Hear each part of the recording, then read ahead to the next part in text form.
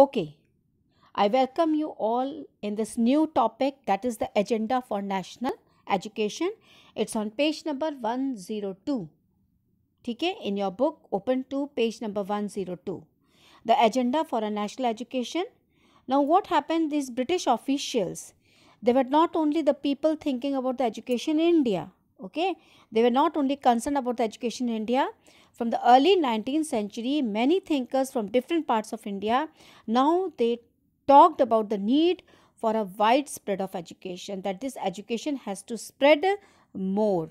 So with the development of, uh, in europe industrialization in europe some indians felt that the western education would help to modernize india so there many many people indian peoples were there those were impressed by the development which was going on in europe at that time in the western countries at that time especially the industrialization. So these indian peoples they thought that through western education it's going to modernize our country also. So what happened? Now they started urging the british peoples uh, to modernize India also to open schools, various schools, colleges and universities in our country. Okay, you can see over here these peoples they started demanding for more colleges, universities, schools and all and they should spend these British peoples should spend more money on education now. Okay.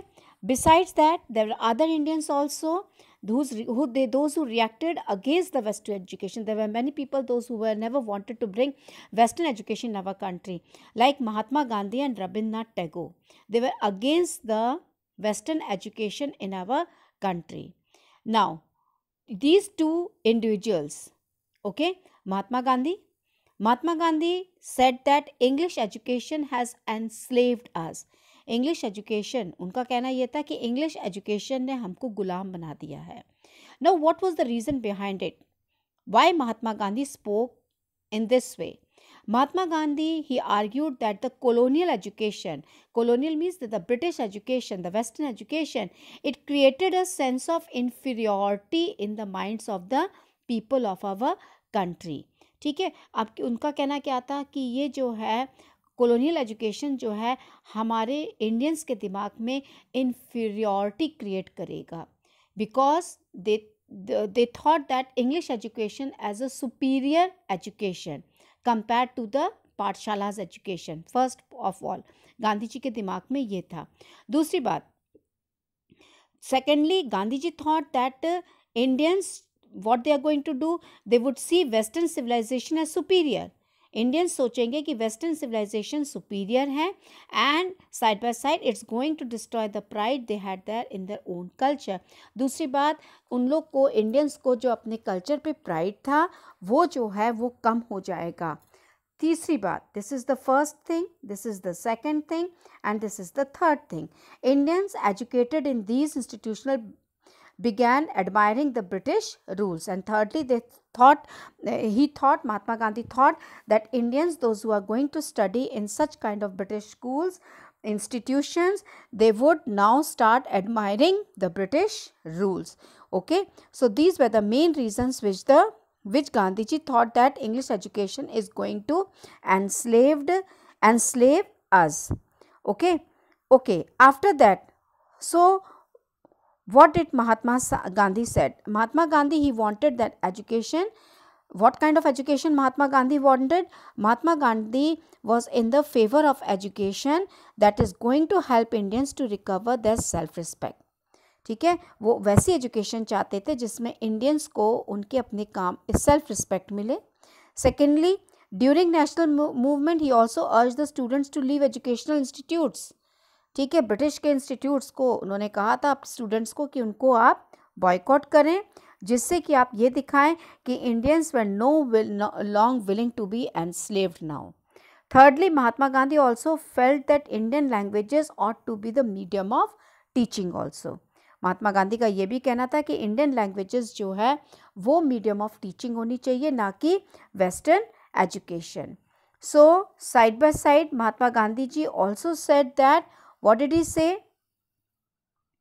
That uh, uh, education in english crippled indians distanced them from their own social surroundings and made them strangers in their own lands कि English education क्या करेगी? वो Indians को cripple कर देगी। कैसे cripple करेगी? वो अपनी ओन सोशल सराउंडिंग से डिस्टेंस कर लेंगे ठीक है? दूर हो जाएँगे। उसके बाद वो अपने ही लैंड में स्ट्रेंजर्स बन के रह जाएँगे। ठीक है? दूसरी बात, Mahatma Gandhi he also focused on reading and writing rather than oral language knowledge ठीक है? वो कहते थे लिख के, याद राइटिंग करके रीडिंग करके एजुकेशन बेस्ड होनी चाहिए, ना कि ओरल नॉलेज पे। He it value textbooks rather than live experience and practical knowledge उन्होंने कहा था कि टेक्स्ट बुक पे ज़्यादा उन्होंने ज़ोर दिया था rather than life experiences and practical knowledge and Gandhi ji wanted practical knowledge so he said literacy और simple learning to read and write by itself did not count as education जो Britishers text book लाना चाहते थे, वो उसके against है Gandhi ji he said that simple याद करके, पढ़ के, लिख के ही एजुकेशन नहीं होती है। उसको एजुकेशन नहीं कहते हैं। एजुकेशन होती है जब हमारे पास कोई प्रैक्टिकल नॉलेज हो। ठीक है? After that, he also said that in order to gain education, people had to work with their hands first of all. Okay?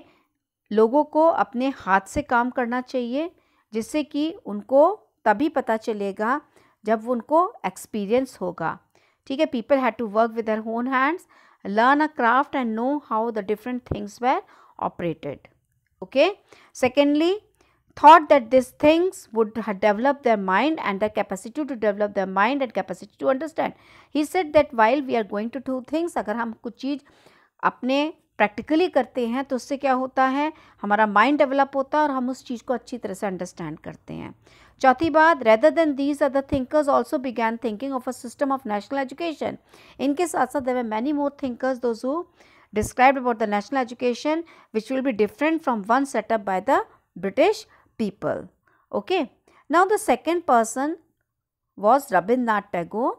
I am going to tell about Rabindranath Tagore in my next video. So go through the English the uh, type of education which Mahatma Gandhi wanted that is topic English education has enslaved us.